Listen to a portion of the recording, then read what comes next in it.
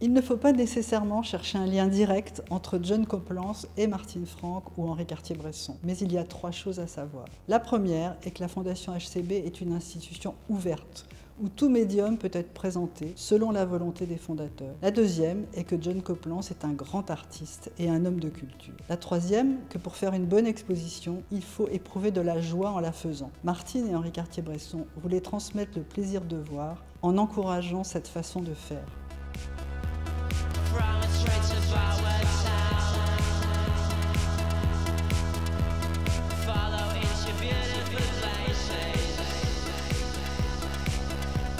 John Copeland, c'est un artiste britannique. Euh, il a vécu la plus grande partie de son enfance entre euh, Londres et l'Afrique du Sud, où vivaient en partie euh, ses parents. Copeland, c'est un artiste qui commence comme peintre, après avoir fait plusieurs années de guerre, avoir lutté contre le fascisme.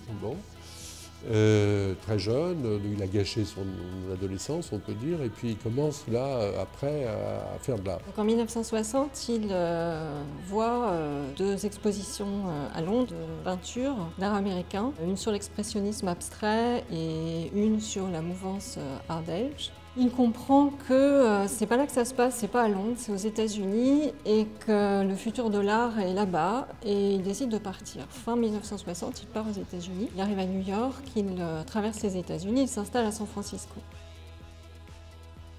Il fut un acteur majeur des années 60 et particulièrement dans le mouvement de formation de ce qu'on a appelé le pop art. Et il est très connu en tant que tel. C'est un personnage, notamment aux États-Unis, très connu en tant que critique euh, euh, actif dans les années 60, 70, euh, directeur du magazine sans doute le plus important de l'art américain de cette époque, c'est-à-dire Art Forum. Dans les dernières années de son activité de critique, on remarque qu'il s'est intéressé de plus en plus à la photographie. À la fin des années 70, de 1978 à 1980, il est directeur du musée de dans l'Ohio. Et il expose là un certain nombre de photographes, beaucoup plus qu'auparavant. Il expose Diane Arbus, il expose Ouija, il expose Brassai, il expose Jane Grover. Donc des choses extrêmement différentes, mais on voit un intérêt pour la photographie qui se développe. Il écrit aussi plusieurs euh, textes assez fouillés euh, sur des photographes, euh, Carlton Watkins, Ouija là encore, et Brancusi, les photographies de Brancusi. Il arrête la critique d'art, il redevient artiste avec la photographie. C'est complètement singulier. Hein. Je ne connais personnellement pas d'autres artistes qui aient commencé, puis qui se, dans une discipline, qui se soit arrêté et qui est repris dans une autre discipline. Hein. C'est très, très unique. Et quand il redevient artiste avec la photographie, il euh, le fait très sérieusement. Il ne sait pas faire de photos, il apprend il apprend à faire des photos et il prend modèle, enfin du moins il demande conseil à des photographes qu'il a publiés dans Art Forum, qui sont des amis, etc., notamment euh, Fred Lander ou Jane Grover.